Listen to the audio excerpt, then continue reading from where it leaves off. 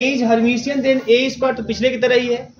जैसे ये सिमेट्रिक है ना? तो यहाँ अगर A is Hermitian if A is Hermitian अगर ए हर्मिशियन इसका मतलब A transpose conjugate is equal to A आएगा। तो ए स्क्वायर की बात कर रहा है तो ए स्क्वायर का ट्रांसपोज और कॉन्जुगेट आप ले लो है ना? तो यहाँ से क्या हो जाएगा? यहाँ से इस तरीके से ए स्क्वायर बाहर हो जाएगा कोई दिक्कत नहीं है। ये आसानी से इसको आप लिख सकते हैं कैसे? आप लिख सकते हैं ए ट्रांसपोज है ना? स्क्वायर बाहर कर लीजिए ऐसे। क्लियर है? तो अब एक कॉन्जुगेट को यहाँ लगा दीजिए है ना भवानी? कॉन्जुगेट को यहाँ लगा दीजिए। तो ए ट्रांसपोज कॉन्जुगेट स्क्वायर और ये ए के बराबर मतलब ए स्क्वायर तो मिल गया आपको हरमिशियन है ना? और ऐसे इसक्यू मान के अब इसको इसक्यू हरमिशियन में शो कर लेगी पिछले की तरह ही। बात समझ में नहीं आ रही है?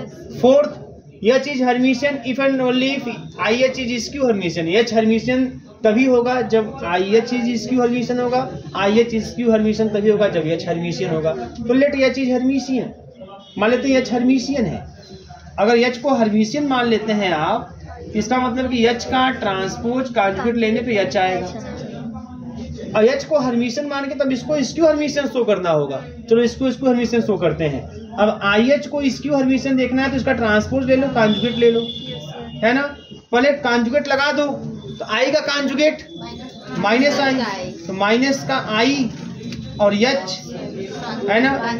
खाली एच के ऊपर कॉन्जुगेट होगा और ट्रांसपोज ये ट्रांसपोज जो है है ना? आई पे तो काम करेगा नहीं। करेगा आई पर। आई पर नहीं काम करेगा है ना? तो माइनस का आई में आई ना? आई और एच ट्रांसपोज कॉन्जुगेट क्लियर है? मतलब देखो, आएगा क्या? आएगा वही पूरा। यही चीज़ पूरा आ गया। बात समझ ना, लेकिन निगेटिव के साथ। तो आपका इसका मतलब क्या? इसका मतलब आई एच क्या हो जाएगा हमारा? इसक्यू हरमिशियन फिर दूसरे वाले में आई एच को इसक्यू हरमिशन मान के आप एच को हरमिशन दिखा दीजिएगा। लेकिन ये लाइन आपको याद होनी चाहिए कि अगर एच हरमिशियन है तो आई एच इसक्यू हरमिशियन होगा। आई एच इसक्यू हरमिशियन तो एच क्या हो जाएगा? हरमिशियन क्लियर है? नोट करना है कुछ इसमें? कर लीजिए। ऐसा कुछ भी अगर आप दिखा लेंगे, बहुत सिंपल सी चीज़ें हैं। बहुत सिंपल आप लोग तेज ही बहुत हैं। हैं कि नहीं आप लोग? हैं? तेज नहीं है? मतलब हम गधों को पढ़ा रहे हैं? चीज़ों को। तो क्या क्या बातें आपको ध्यान रखनी है? रैंक ऑफ़ मैट्रिक्स क्या बढ़िया आप बनाया हो जी मैं? मैं कला तो मुझे नहीं आता। है रैंक ऑफ़ मैट्रिक्स बात समझ में आ रही है? देखिए अब रैंक ऑफ़ मैट्रिक्स में आपको किन बातों का ध्यान रखना है है ना? तो देखिए सबसे पहली बात कि रैंक ऑफ़ मैट्रिक्स होता क्या है पहले उनको जान लेते हैं। देखिए किसी मैट्रिक्स का रैंक अगर मान लीजिए हम बोलते हैं आर है मान लीजिए फॉर एग्जांपल आर है। में आ रही है? तो उस उस मैट्रिक्स का रैंक आर होने का क्या मतलब है? तो कोई मैट्रिक्स होगा उसका कुछ ना कुछ आर्डर होगा करेगा। मान लीजिए मैट्रिक्स जो है एम क्रॉस एन आर्डर का है। बस में आई ना मतलब यहाँ स्क्वायर वाली कोई कंडीशन नहीं है। स्क्वायर हो भी सकता है। और कोई मैट्रिक्स जो है वो ध्यान समझिएगा। कोई मैट्रिक्स ए है जिसका आर्डर है यम क्रॉस एन कोई मैट्रिक्स ए है जिसका आर्डर है यम क्रॉस एन अगर मैं इसका रैंक बोल रहा हूँ कि इसका रैंक आर है तो इस चीज़ का क्या मतलब है? अगर इसका मैं बोला हूँ रैंक आर इसका मतलब क्या मतलब है? इसका ये मतलब है वो ध्यान समझिएगा कि इस यम क्रॉस एन मैट्रिक्स में इसका एक सब मैट्रिक्स मिलेगा, इसका एक सब मैट्रिक्स मिलेगा, जिसका जो आर्डर होगा वह आर क्रॉस आर होगा। बोलो ध्यान से समझिएगा यहाँ पे। है ना? अगर इस मैट्रिक्स का आर्डर यम क्रॉस यन है, अगर इसका रैंक आर है तो इस मैट्रिक्स का एक कोई सब मैट्रिक्स होगा, है ना? जिसका आर्डर आर क्रॉस आर होगा और उसका जो डिटर्मिनेंट होगा, वो नॉट इक्वल ज़ीरो होगा। ये बात समझ में आ रही है कि नहीं आ रही है? अभी नहीं समझ में आ रही है है ना? लेकिन अब यहाँ से जाएँगे, कुछ समझ में आ जाएगा आप लोगों को। भले ये चीज़ ध्यान से सब मैट्रिक्स क्या होता है पता है आप लोगों को?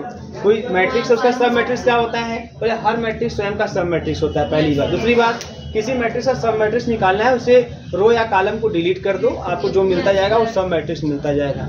बात समझ में आ रही कि नहीं आ रही है? तो कोई मैट्रिक्स जो है है ना? उसका सब उसके सब मैट्रिक्स अगर हम बात करें तो बड़े ही आसानी से उसके सब मैट्रिक्स को आप बता सकते हैं। बहुत से सब मैट्रिक्स उसके हो जाएँगे पॉसिबल बस रो कॉलम को डिलीट करते जाना है। है ना? एक रो को डिलीट कर दीजिए, जो बचता है वो सब मैट्रिक्स एक कॉलम को डिलीट कर दीजिए, जो बचता है वो सब मैट्रिक्स एक रो एक कॉलम को डिलीट कर दीजिए, जो बचता है वो सब मैट्रिक्स ऐसे बहुत से सब मैट्रिक्स आप बना सकते हैं। बस समझ आ रही है कि नहीं आ रही है? ठीक है ना? तो अगर कोई मैट्रिक्स ए है, जिसका आर्डर एम क्रॉस एन है, अगर उसका रैंक आर बोल रहे हैं तो इसका मतलब ये होता है कि उस मैट्रिक्स का एक आर क्रॉस आर आर्डर का एक सब मैट्रिक्स ज़रूर होगा जिसका डिटर्मिनेंट क्या होगा? नॉट इक्वल ज़ीरो मैंने क्या बोला कि उस मैट्रिक्स जो ए मैट्रिक्स है जिसका आर्डर एम क्रॉस एन है। अगर उसका रैंक आर है तो रैंक आर होने का मतलब कि उसके पास या उसका एक ऐसा सब मैट्रिक्स ज़रूर एग्जिस्ट करेगा। मतलब कि एक से अधिक भी हो सकता है। ये कम से कम एक ऐसा सब मैट्रिक्स ज़रूर एग्जिस्ट करेगा जिसका आर्डर आर क्रॉस आर होगा और उसका डिटर्मिनेंट नॉट इक्वल और इसके ऊपर आर्डर का इसके ऊपर आर्डर का जो मैट्रिक्स होगा मतलब आर प्लस वन और क्रॉस आर प्लस वन इसके ऊपर मतलब इसका तो हो गया नॉट इक्वल ज़ीरो और इसके ऊपर के जितने आर्डर के r plus one cross r plus one r plus two cross r plus two बात समझ रही ना इसके ऊपर इसके ऊपर आर्डर के जितने भी स्क्वायर मैट्रिक्स होंगे, उन सबका डिटर्मिनेंट जो डिटर्मिनेंट जो होगा, वो इक्वल टू ज़ीरो जैसे मैं और बताऊँगा आपको। जैसे मान लीजिए, एक मैट्रिक्स हमारे पास ए है, जिसका आर्डर है फाइव क्रॉस सेवन इसका आर्डर कितना है? फाइव क्रॉस सेवन इसका आर्डर है फाइव क्रॉस सेवन तो अब मैं बोल रहा हूँ कि इस मैट्रिक्स का जो रैंक है, मैं मान लिया, मैं उसका रैंक बोल दिया तीन है। मान लीजिए मैंने मान लिया कि उस मैट्रिक्स का रैंक कितना है? तीन है। इस मैट्रिक्स का रैंक तीन है। अगर इस मैट्रिक्स का रैंक तीन है इसका मतलब यह है कि इस फाइव क्रॉस सेवन आर्डर के मैट्रिक्स का एक ऐसा सब मैट्रिक्स होगा जिसका आर्डर होगा थ्री क्रॉस थ्री और उस मैट्रिक्स का डिटर्मिनेंट जो होगा है ना डिटर्मिनेंट जो होगा उस three cross three order matrix का वो आपका नॉट इक्वल ज़ीरो होगा। और इससे ऊपर आर्डर का मतलब four cross four five cross five इसके ऊपर आर्डर के जो भी सब मैट्रिक्स मिलेंगे उन सब का डिटर्मिनेंट क्या होगा? इक्वल टू ज़ीरो होगा। मेरी बात कुछ दिमाग में भेजे में घुस रही कि नहीं? नहीं घुसे तभी कोई समस्या नहीं है आपको। है ना? क्योंकि जो आएगा कैसे आएगा कैसे करना वो मैं बताऊँगा कैसे करना है। अभी मैं समझा रहा हूँ एक्चुअली चीज़ों को समझें आप। ठीक है ना? क्योंकि एक तो रैंक निकालने का तरीका होता है कि डिफिनेशन को समझ के निकालिए आप। जो डिफिनेशन कर रहा है, उसको समझ के निकालिए। और कुछ नियम है है ना? उस नियम के अकॉर्डिंग भी रैंक निकाले जाते हैं कुल तीन तीन मेथड हैं कम से कम, है ना? जिसके द्वारा हम मैट्रिक्स का रैंक आसानी से निकाल सकते हैं। ठीक है? कैलकुलेशन वाले भी हैं, है ना? लेकिन आपको समझना है, आपको अक्सर जब भी देगा तो जिसको आसानी से बता सकते हैं, ऐसा कुछ देगा आपको। ठीक है? तो ये चीज़ें हैं। मेरी बात समझ में आ रही है आप लोगों को? अच्छा बताओ। जो भी रैंक होता है, उतने आर्डर का स्क्वायर मैट्रिक्स होना चाहिए। जिसका डिटर्मिनेंट क्या होना चाहिए? नॉट इक्वल ज़ीरो और उससे ऊपर आर्डर का जो स्क्वायर मैट्रिक्स होगा सब मैट्रिक्स होगा, उस मैट्रिक्स का, उसका डिटर्मिनेंट ज़ीरो होगा। मेरी बात समझ आ रही है? अब मैं बताऊँ यहाँ पे, जो ए फाइव क्रॉस सेवन है, क्या इस मैट्रिक्स का रैंक छ हो सकता है क्या? सात हो सकता है। पाँच, आठ। चलो मान लीजिए मैं ये बोल दिया।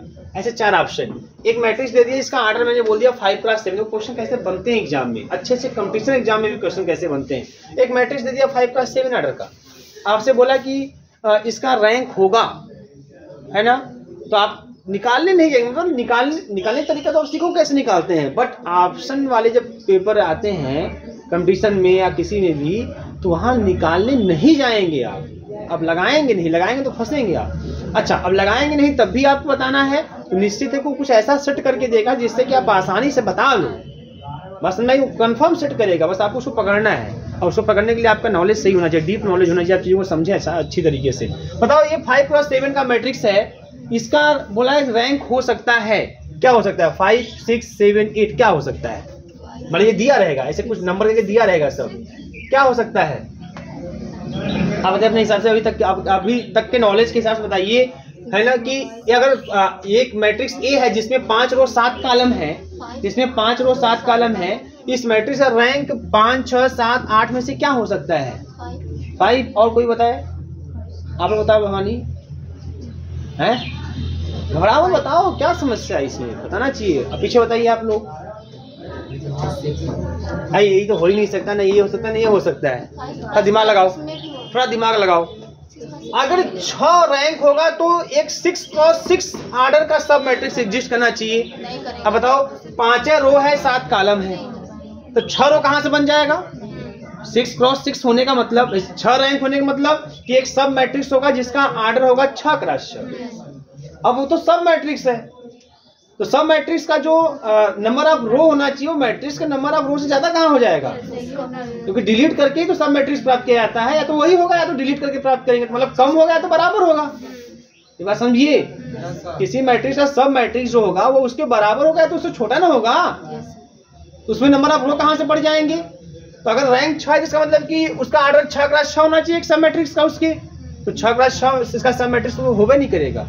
इसमें मैक्सिमम कितने ऑर्डर का स्क्वायर मैट्रिक्स मिल सकता है?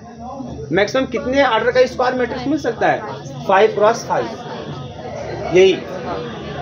और कोई मिल सकता है क्या? नहीं। तो छ सात आठ इम्पॉसिबल पाँच ही पॉसिबल हो सकता है। होगा कि नहीं होगा बात की बातें हैं। क्योंकि पाँच ही पॉसिबल हो सकता है छह सात आठ नहीं। तो आपको ये चीज़ ध्यान देनी है। है ना? मतलब देखो अब ऐसे ही होता है। अब एग्ज़ाम में क्या करेगा? मैं बता रहा हूँ आपको। ये सब चीज़ें जानिए रिटर्न में ये सब चीज़ें कभी कदापि नहीं बताऊँगा, ना बताया जाता है, ठीक है ना?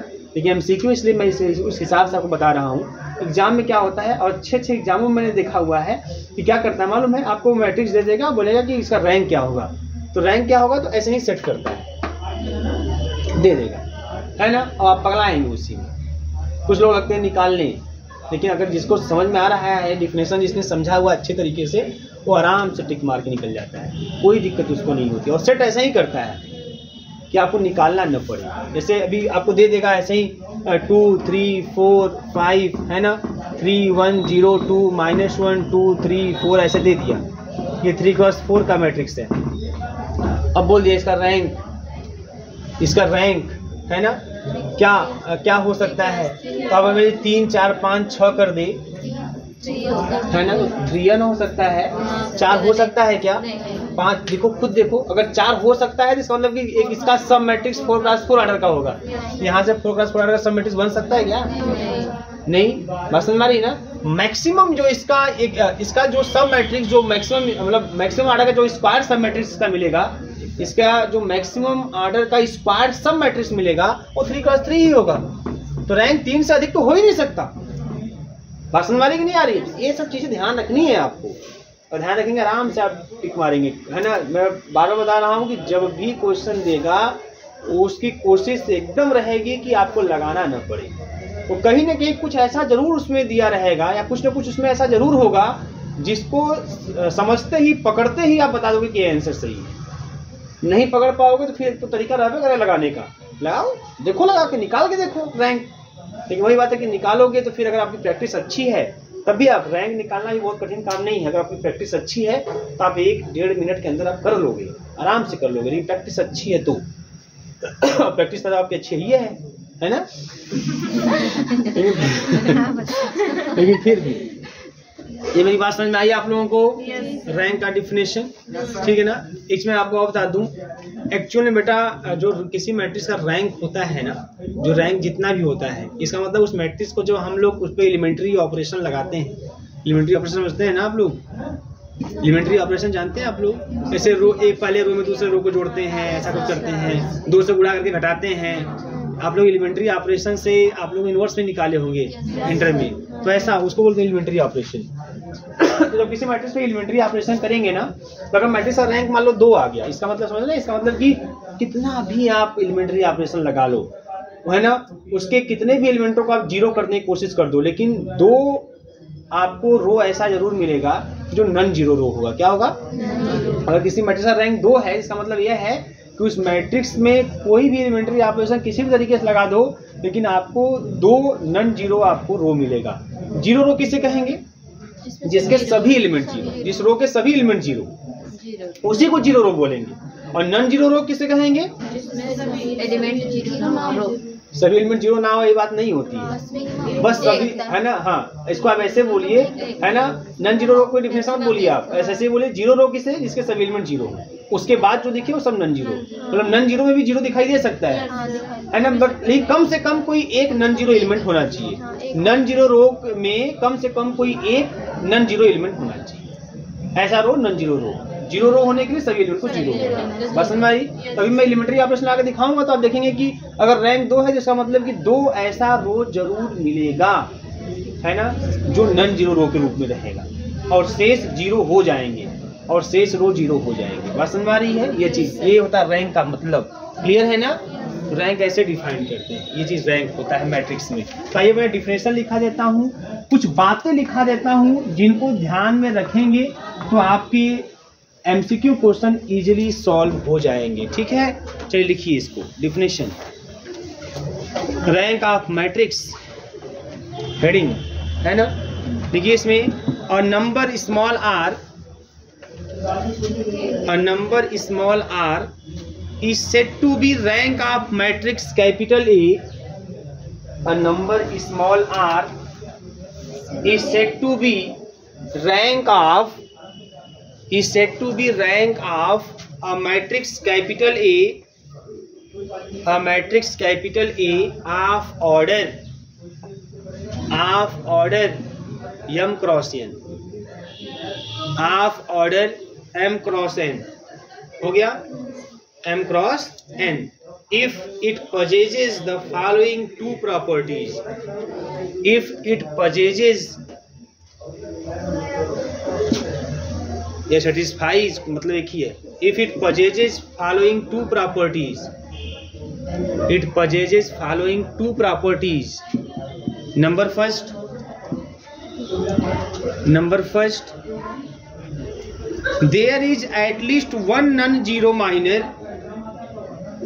There is at least, there is at least, there is at least one वो या नहीं one non zero minor non zero minor of A of capital A of order small r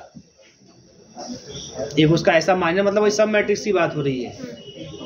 Of order small r second number minor cofactor निकालते हैं ना आप लोग? ठीक है, वही चीज़। Second number every minor of order every minor of order r plus one every minor of order r plus one हो गया? R plus one is zero her minor जो आर प्लस वन मतलब आर से ज़्यादा होगा क्या होगा? Zero होगा। इज़ ज़ीरो आगे लिखिएगा